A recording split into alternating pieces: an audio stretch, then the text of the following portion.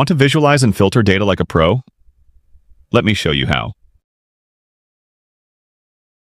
First, select a cell and press Ctrl plus T to create a table. And choose table style that you liked.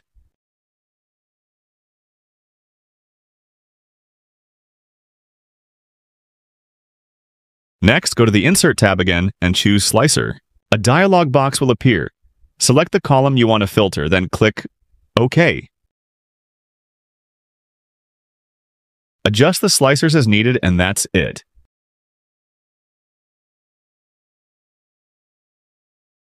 Now you can filter your data with just one click.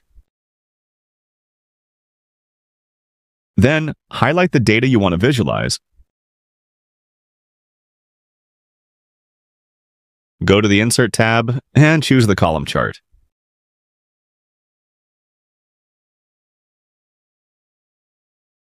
Rename the chart title for clarity.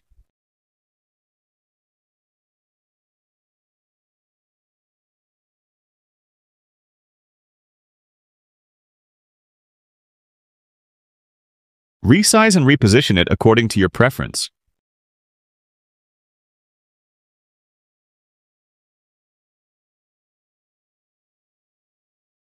Boom! You can filter your data with just one click. Do not forget to like this video and subscribe to our channel. Thanks for watching.